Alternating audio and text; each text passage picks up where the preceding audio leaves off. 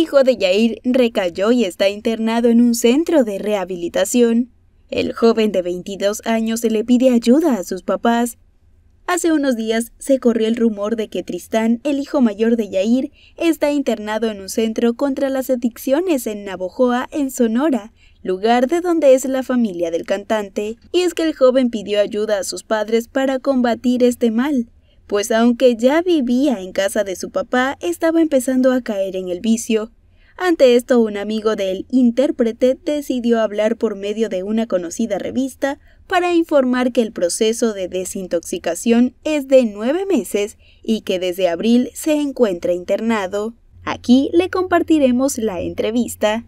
Hace unos días Jair comentó que sus hijos están bien y con él, pero ya tiene tiempo que no sabemos nada de Tristán, el mayor. ¿Cómo está?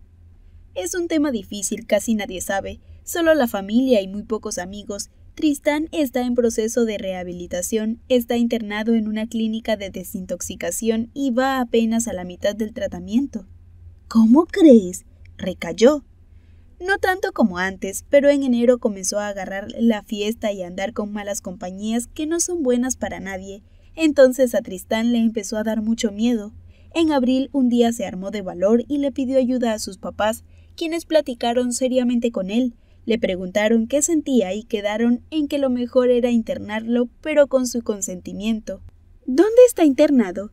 En una clínica que se llama Narconón, que está en Navojoa, Sonora. ¿A qué casa llegó? A la de Yair, y a veces se iba con su abuelo por dos o tres noches, más cuando estaban su papá y su hermanito menor, porque aunque ya lo hablaron, Tristán sí siente celos de su hermanito, porque Yair se tomó más en serio su papel de padre con él, y siempre está al pendiente, cosa que con Tristán no hizo del todo, ya que fue cuando tuvo el boom de la academia, tenía que trabajar todo el tiempo.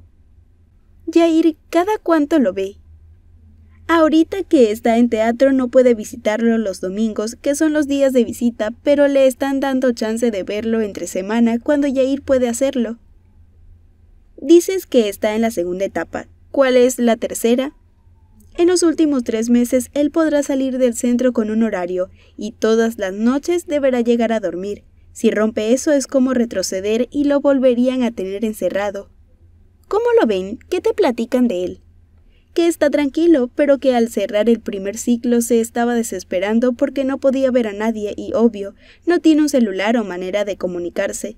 De hecho, antes de todo esto, él cerró todas sus cuentas de redes sociales porque no quería que lo buscaran más los medios, ni que lo siguieran tachando de alcohólico y drogadicto. Tú que conviviste mucho tiempo con él y con su familia, dinos, ¿realmente qué consumía? Él le entró mucho al alcohol y a la marihuana, pero fuera de eso no se metía nada. Jair dijo que estaba con él, pero vemos que no es cierto. ¿Qué pasó?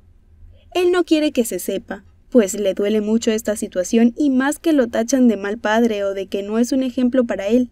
Como él dice, a lo mejor se le salió de las manos, pero le está echando ganas para que Tristán esté bien, él quiere que se dedique a la producción de música y trabajar con él, porque así el propio Tristán lo ha dicho, pero también quiere que esté tranquilo y sano. Jair no ha sido reventado, ¿o sí? Sí, le gustaba la fiesta, agarrábamos buen ambiente, pero nunca se metió nada. No te creas, se siente un tanto culpable porque Tristán le entró al vicio cuando vivía con él, entonces ese remordimiento le pesa. Lo importante es que lo están atendiendo, Así es, de hecho, en el tratamiento también los padres tienen un rol importante y deben ir a tomar terapia para poder ayudar a su hijo, y lo están haciendo. Ya ir cuando puede, pero su mamá no falla en cada consulta. Después de esto, ¿qué seguirá para Tristán? Él decidió quedarse a vivir aquí, en Sonora, entonces estará cuidado por todos, que a eso venimos, concluyó.